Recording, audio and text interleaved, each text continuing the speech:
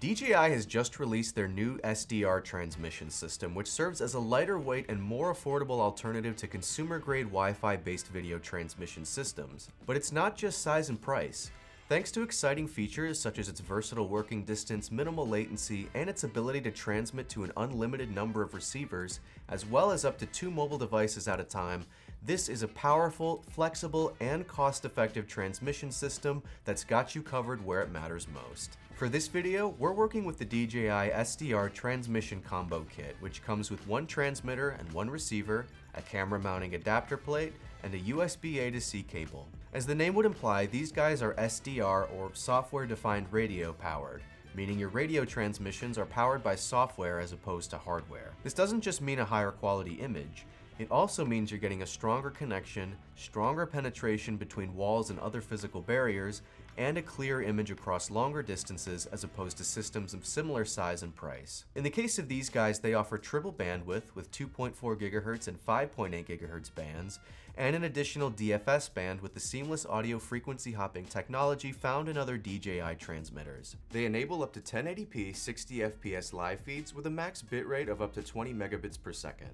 When it comes to image transmission, the SDR transmission system allows you to transmit to an unlimited number of receivers while in broadcast mode. We didn't get to test this out given we only have one receiver to work with, but this is a great feature for allowing different crew members to independently monitor video from the same source on set. The transmitter can send a signal up to 10,000 feet, which is about 1.9 miles, allowing you to comfortably monitor video from safe distances. The system has a reported 35 milliseconds of latency, which is less than a frame of delay at 24 FPS, which should be suitable for scenes with lots of movement. The SDR transmission system supports both HDMI and SDI output, and when working with tablets or mobile phones, you can connect over Wi-Fi or via USB-C.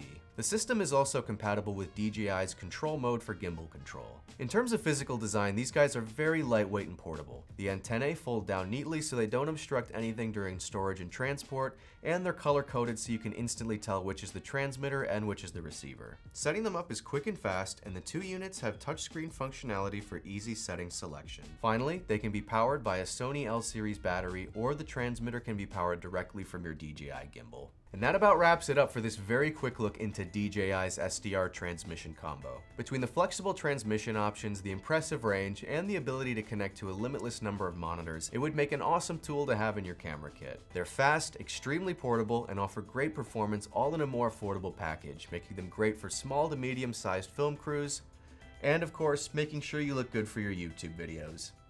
But as always, I want to know what you have to say, so be sure to let me know your thoughts on DJI's new SDR transmission combo in the comments down below.